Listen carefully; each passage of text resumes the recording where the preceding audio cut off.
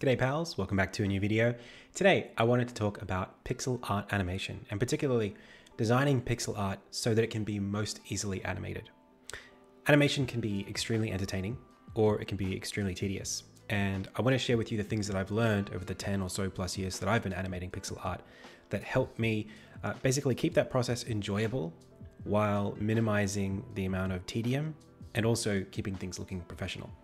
So there are lots of styles of pixel art some are easier to animate than others, and the differences between these essentially come down to the amount of detail, noise, and the complexity of the motion in the pixel art. Now, anything can be animated, but it's especially important to build an intuition for what animates easily and what doesn't. You really want to avoid getting lost in the process and losing hope, because it can be hard to take lessons from a failed experiment if you can't even really tell what went wrong. Uh, this is especially the case very early in your pixel art journey. You know, I know it was the case for me where it's very easy to try to animate something, you get a certain distance in and it doesn't look right, but everything you do makes it look worse. Now, I've animated lots of different things for my games, from characters to attacks with weapons to entire scene rotations, visual effects, you name it.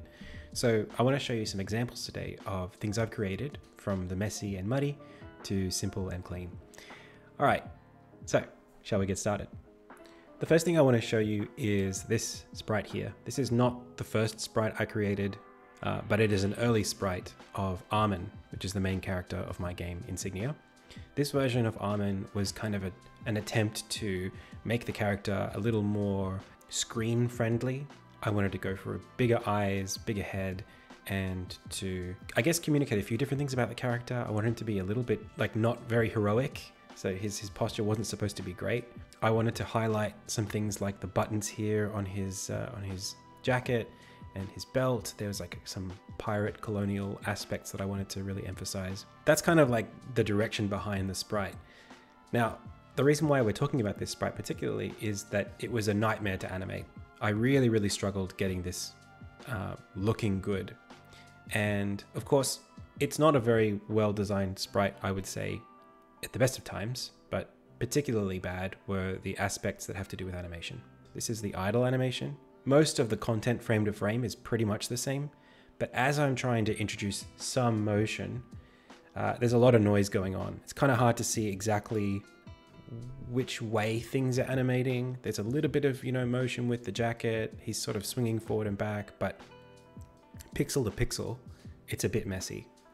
This is kind of um, like exacerbated in the run animation. Overall, like, you know, there's a general sense of, of motion and you can see that I've got some experience with perspective shifts and um, the, the beats look okay. But again, there are some aspects of the motion that are quite difficult. And I want to call to your attention specifically the hair. Uh, the hair here is really, really difficult to track. If you're not looking at the silhouette here, which is kind of like the only thing that's followable, all of this in the middle is kind of like garbled nonsense. There's lots of dithering going on. Um, there's lots of changes in that dithering. The, the actual content pixel to pixel looks like there's some continuity, but it's very difficult to sort of track it. And I think while I was creating this animation, there would have been at least two or three hours that I spent just fiddling around with individual pixels for the hair. This is something that I think um, new pixel artists have a really difficult time with because it's it's so easy to get lost in individual pixels. So I want to compare this animation to the most recent um, designs for this character and the most recent animations for this character. So here's the current version of Armin. Um, his design is uh, a lot more square. It's a lot more stable in terms of the, the, the pose. I think it's a lot stronger. Um, and you can see that there's a lot less overall contrast in in the image um, but the contrast that's there is in nice readable shapes. So this edge here of the kind of like um, underside of his of his upper arm leading into the chest here creates nice structure. Uh, you can see a nice continuity of the inside of the jacket on this side. And even though, you know, we can see some details that outline the materials, we can see what materials are made of based on the way that the light plays off them. Those shapes are nice and um, clean, open shapes. There's a lot less dithering. In fact, there's basically no dithering. Um, and particularly looking at the hair, the hair here is really one, two, three shapes with three colors. There's no speckling. It's it's very obvious, kind of like where the hair is going. So if we compare a similar animation, not exactly one-to-one copies, but um, you can see here that it's a lot easier to trace, right, with your eyes. You can really see the jacket, you can see how it's tugging, the legs feel pretty uh, like easy to track, the arm is very consistent, the hair in particular, you know, it's uh, far less noisy and it's far easier to just focus on like the shapes that are in motion as you're watching it move. For me, um, my style is one that has a lot of motion in it. You can see that the frame count has gone up as well. This is an eight frame animation. As I've been working on my game, one of the aspects that started to stand out is the quality of the animation and uh, just the amount of animation uh, that is in characters and enemies. So for me, a priority that started to evolve is trying to create sprites that animate very easily and that I can produce lots of frames for with lots of subtle detail without it becoming a uh, slog. As we look at a third example, I want to stress here that it's not necessarily a sacrifice of detail that's made this transition. It's more of a prioritization of detail. One of the things that I was really trying to do with this early sprite was create a sense of creasing in the pants to show that it's made of a more soft kind of malleable material than like the boots, for example. And you can see as we're animating, there's, you know, a lot of motion. It's actually not that bad. It's kind of okay to, to, to watch. You can kind of see how it's moving, but still very tedious frame to frame. And in this newer version, you know, you can still see all those details. The buttons are still there. The edges on, on top of the boots are still there. But particularly, I want to look at the materials. So the, the shirt in particular, you can see that there's kind of like a fold in the shirt and you can track that fold across the entire animation. As the arms go up, the shirt stretches and flattens out and the crease kind of gets pulled tight. That's something that, as a detail, is a lot easier to track if you have one of them, right? So considering the size of the sprite, considering the, the kind of motion that I'm trying to convey, you can see here the transition from lots of single pixel granular details into fewer but larger and more obvious details. The details are easier to watch, and so it's easier to animate them. Now, it's very easy to look at two animations and say, well, this one's clearly drawn better. You know, the, the pose is better, the colors are better, there are more frames, it's smoother, so obviously it's going to look better. It's one thing to say that, it's another thing to say, okay, what are the actual principles that make up smoother animation? What, what makes something feel smoother or be easier to read in motion? And to do that, we kind of have to go right back to fundamentals. So uh, if you haven't seen any of my videos before, this is a good one for you to jump in on. So let's look at a blank canvas here, okay? We've just got one color across the whole canvas. There's no information here. We can introduce another color here in a way that contains no information value, okay? And that's by adding noise. Okay, here we have two colors. There's a lot going on, lots and lots of edges, lots and lots of shapes, but at the same time, kind of nothing, because our brains can't really pick out anything of interest that's different from anything else. The amount of contrast across the image is kind of uniform. I want to start introducing some terms here, the first one being noise. So, multiple colors doesn't necessarily mean more information. More detail doesn't necessarily mean more information because we can show you an image that's got lots of detail and literally nothing interesting to look at. Now, immediately looking at this image, it tells a completely different story. We have the same amount of pixels on screen. The colors are distributed the same amount, right? We have 50% of the lighter color, 50% of the darker color, but our eyes, when we look at it, see something very clear. We see two shapes separated by a diagonal line of contrast, right? This is a signal. It's consistent, it's obvious, it feels like a rule, and we can track it very, very easily. So there's a difference here between noise and signal. Any details that you create in an image, right? Pixel art aside, any detail must be created using contrast, right? You must have a difference between colors across pixels, across the space, to have something that's not nothing, right? To be able to perceive something. So here, right, we see a circle because there's a line here separating these two colors, this point of contrast where there's a difference between this side and this side that we actually perceive as an image.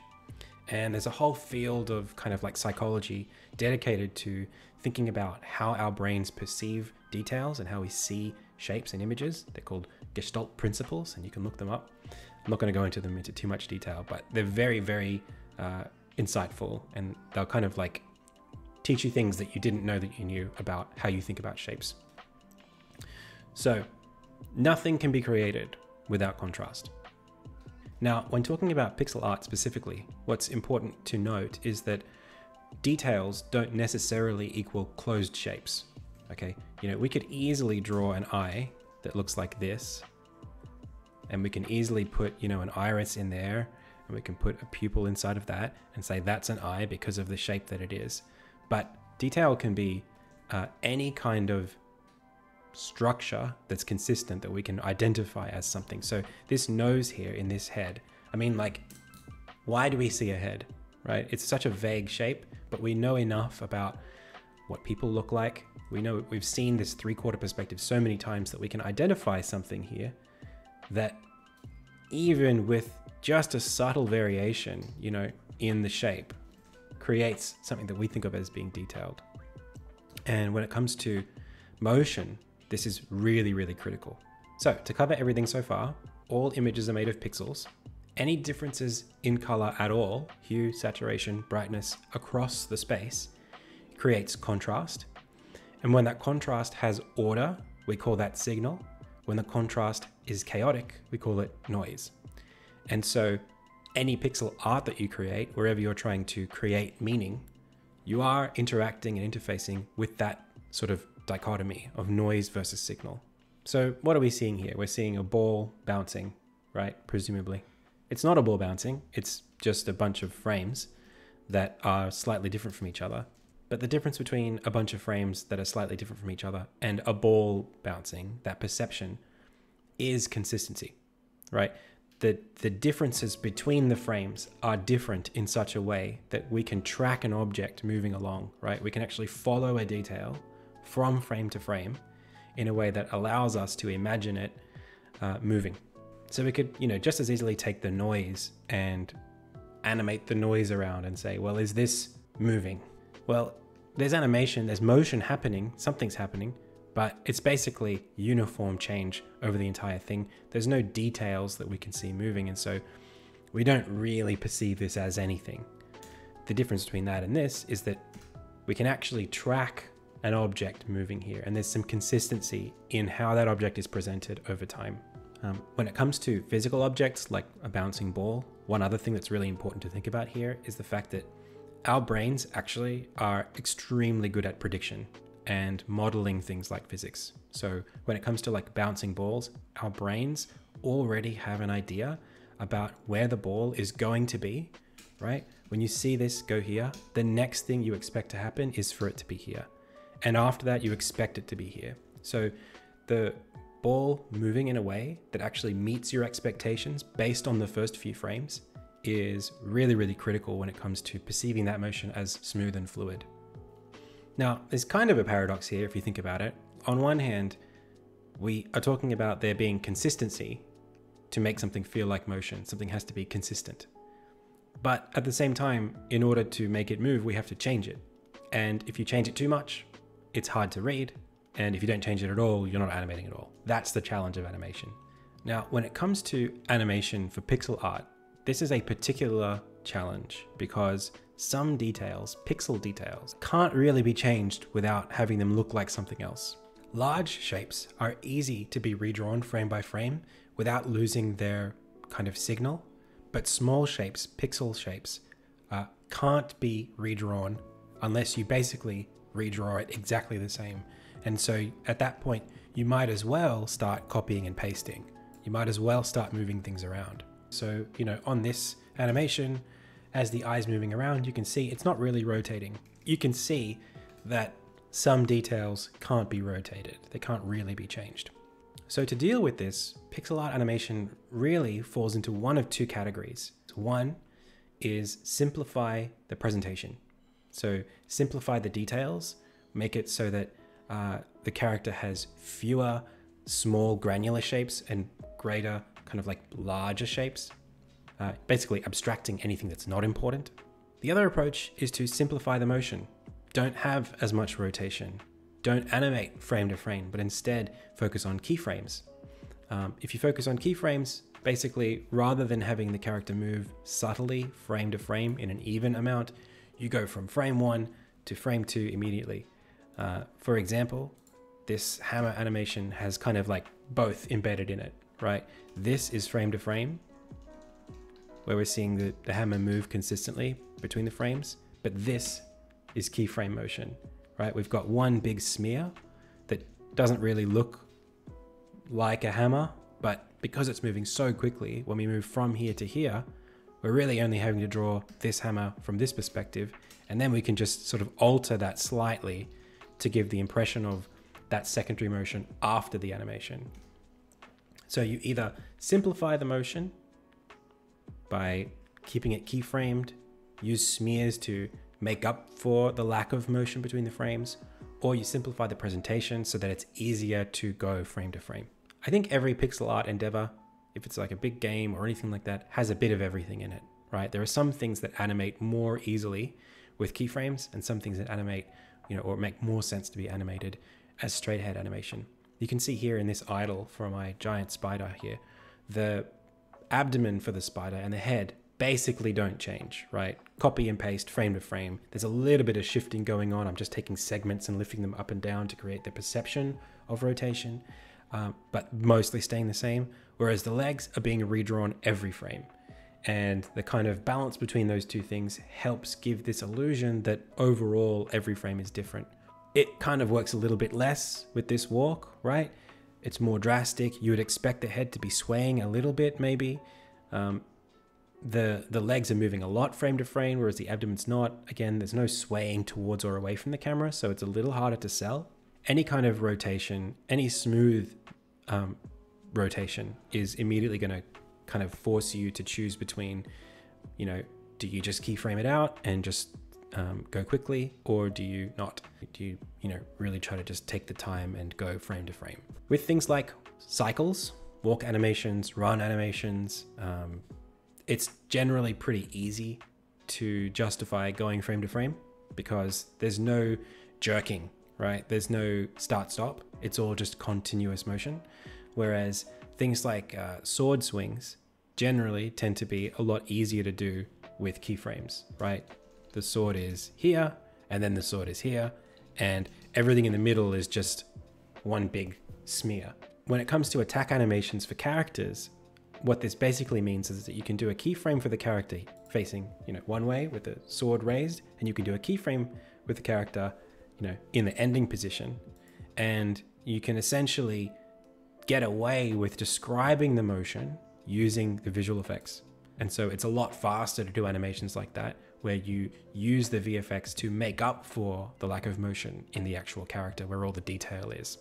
Another example where you can't get away with keyframes is when you do full rotation. So this is a scene that I animated for Insignia where everything animates every frame. What you're looking at here is essentially a loop. There are multiple things animating at the same frame rate, but looping in different intervals based on the rotational symmetry. So the staircase has rotational symmetry on every step. So if there are, you know, 20 steps from here to here, it's only having to animate 120th of the rotation.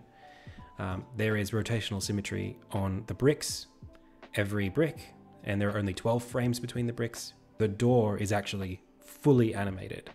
Uh, let me show you what that looks like.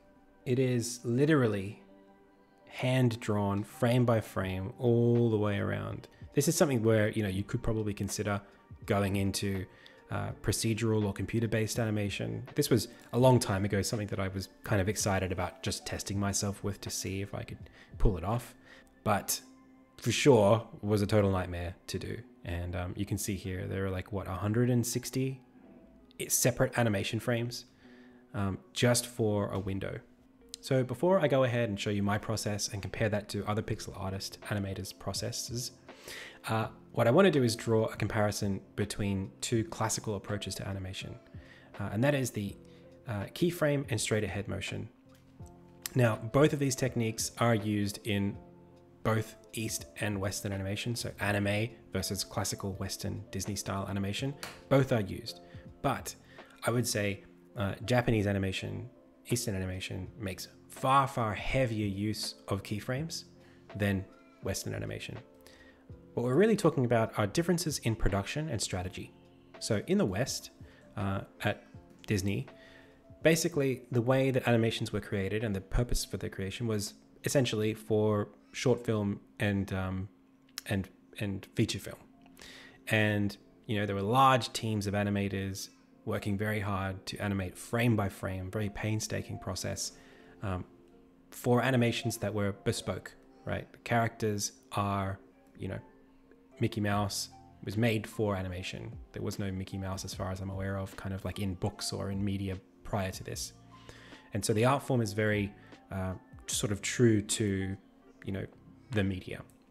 By contrast, in Japan, while there is a, a, a tradition of very high quality, you know, uh, frame by frame animation in things like uh, feature films that you would see in Studio Ghibli and even in um, animation for TV, there became a, a kind of culture of adapting manga, so comic books, into uh, animation. And this is what we call basically anime. And essentially, what would happen in anime is that there would be manga frames, there would be, you know, comic book frames that the animators were adapting almost one to one into frames for the TV show. We're really showing frames, right? Still frames, uh, and doing, you know, the least amount possible to give the perception that we're watching motion. Manga is usually created by one person, they're drawing the frames by themselves.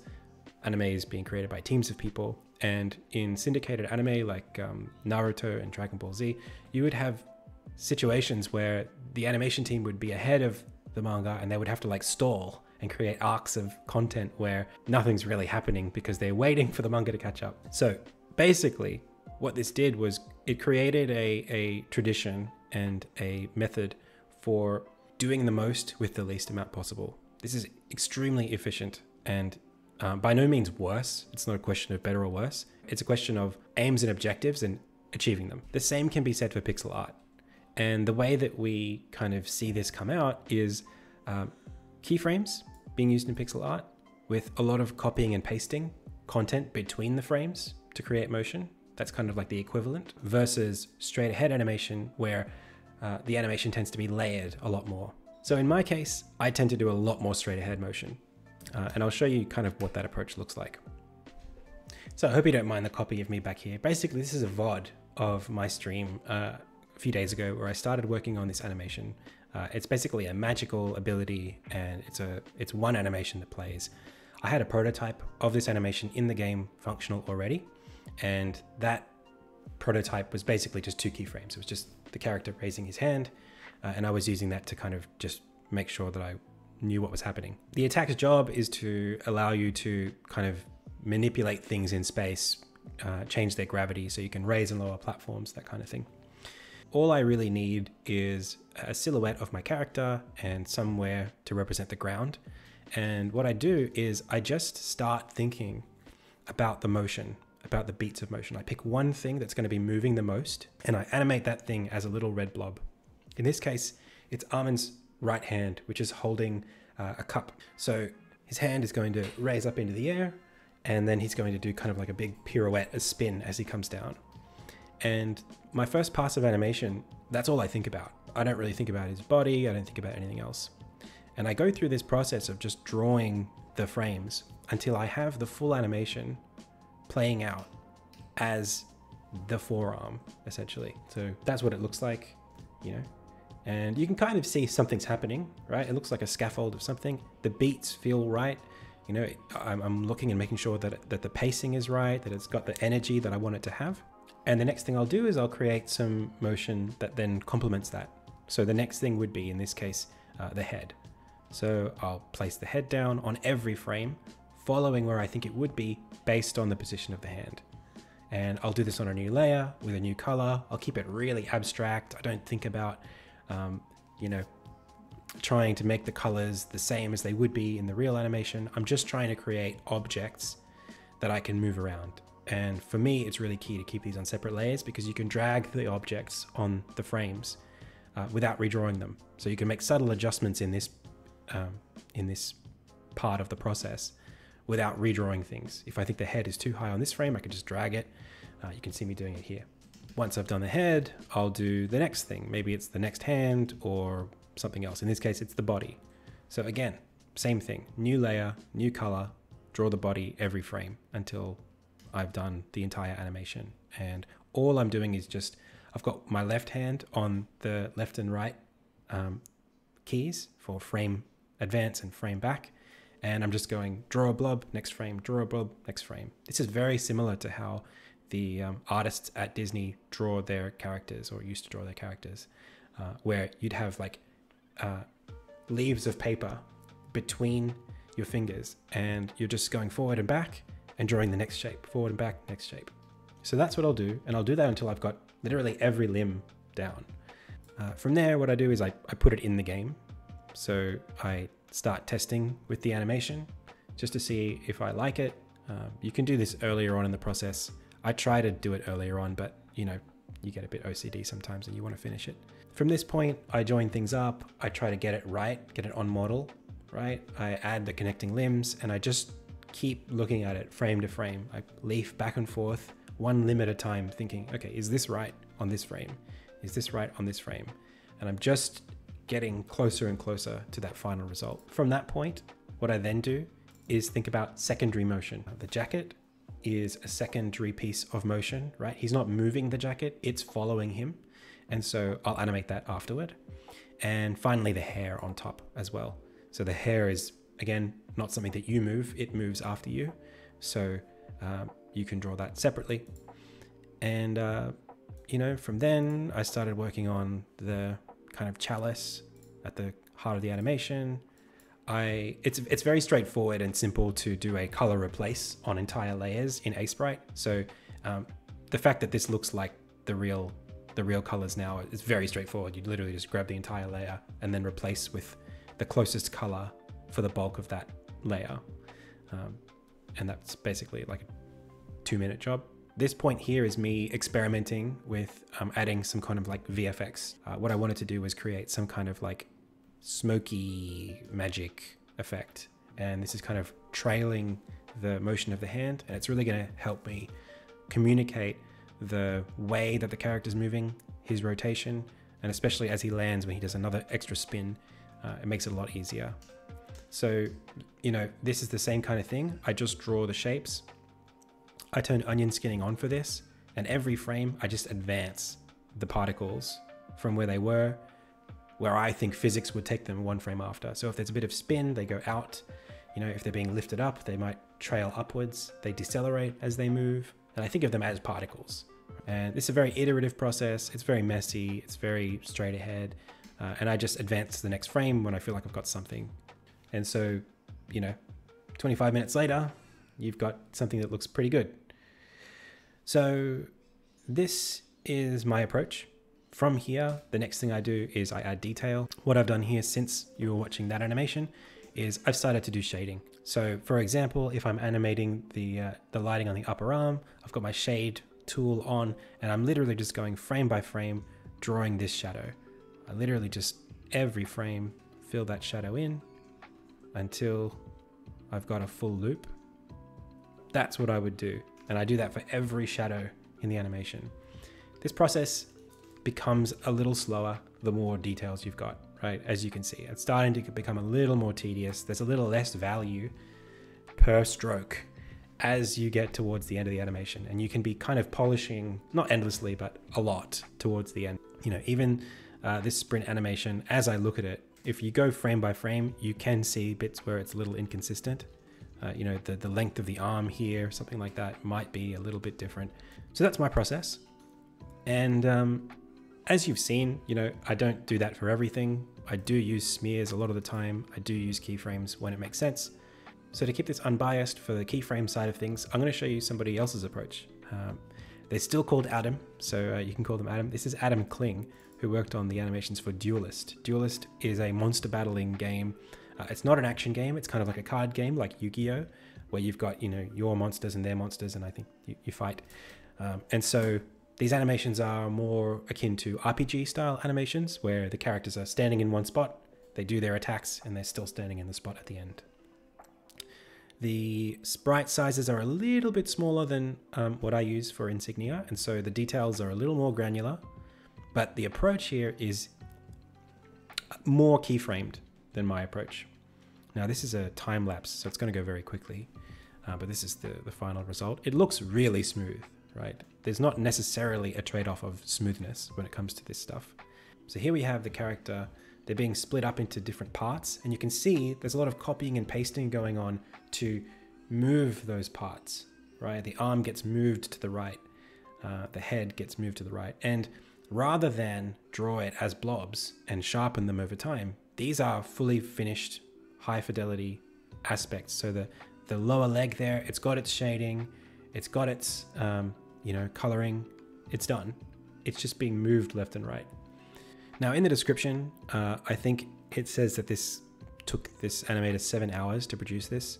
Uh, I don't think I've spent quite seven hours yet on my animation uh, for Armin, that spin. When you've got quite drastic motion, it's a lot easier to keyframe it like this and just then shift things around for those secondary frames when there's a bit of slowdown on the animation. So like after a punch, recovery frames coming back, uh, that's where you see things being shifted because there's not a lot of motion, it's very subtle, following a very drastic change. So here you can see, again, a lot more like VFX, particle effects stuff coming back into it. This is more straight ahead animation. So you can see here, it's not really keyframed out. It's just, you know, draw a frame, change it, next, draw a frame, change it, next. And that's providing a lot more of that real time kind of like high frame rate action to accompany the more static keyframe based character motion. Here's another example in the same video. They pause for a second to talk about their other animation. And you can see here, I think this is a better example where you can see how the character is actually standing still for the most part. So there are changes, but on this frame here, the pose is basically the same. And just the edges of certain parts are getting modulated or, you know, just um, waved a little bit around. And the VFX is driving the animation. It's really being carried by the smears and their particle effects and the, the VFX basically. Um, because there's really only like one, two, three frames of animation that are keyframes that were like drawn individually for the character.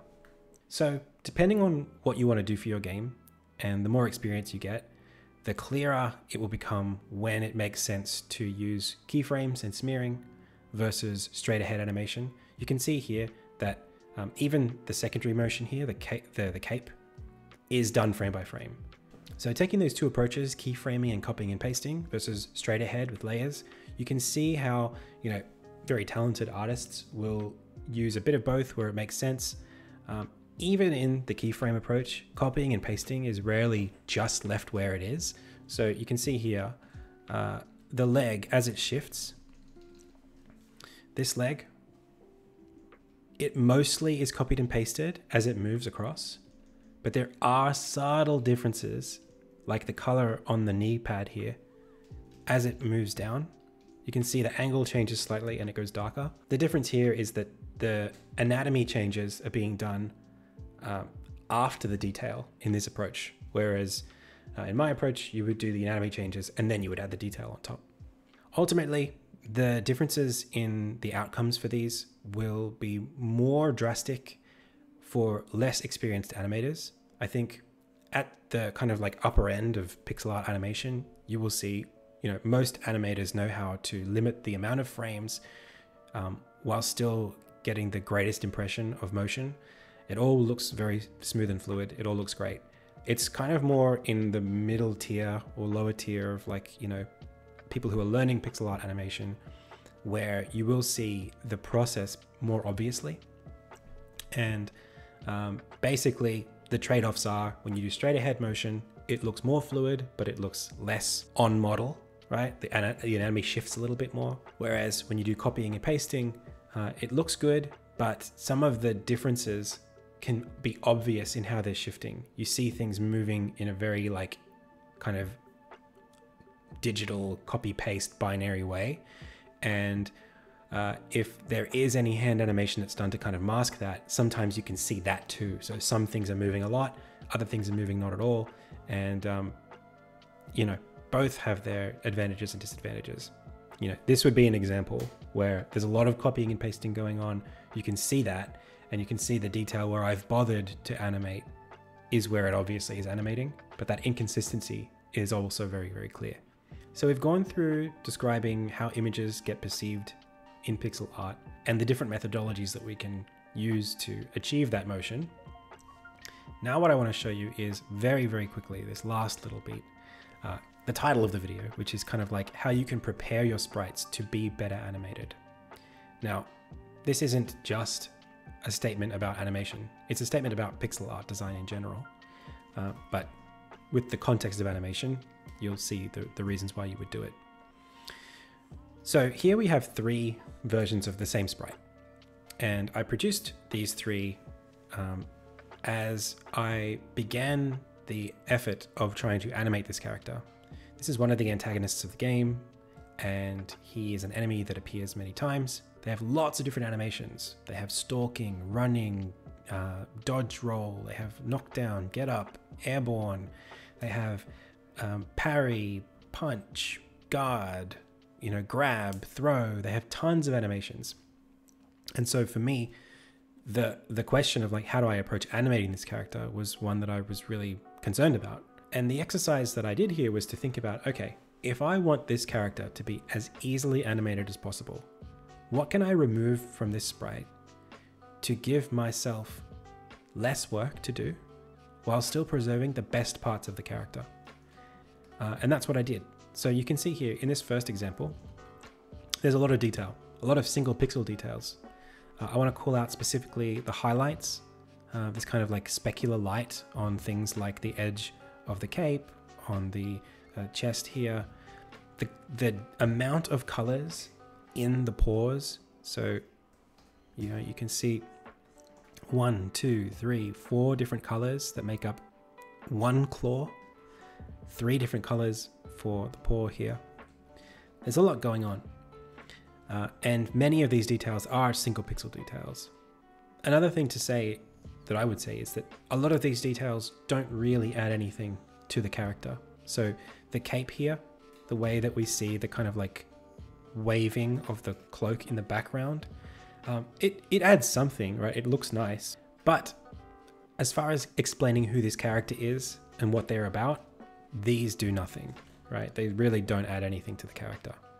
So in the next version, I was like, okay, I'll take those away and I'll simplify a lot of this. You know, how do we take the, the noise here, which is the most complex part of the sprite? If you think about it, the arrangement of these pixels are the most complex, even more so than the face. And yet they are meaningless in their actual contribution to the image and what's being created. So we flatten those out completely. And that's the process, right? Remove details that don't need to be there. Abstract details that, um, you know, have some value but are less important. And preserve the details that tell the story.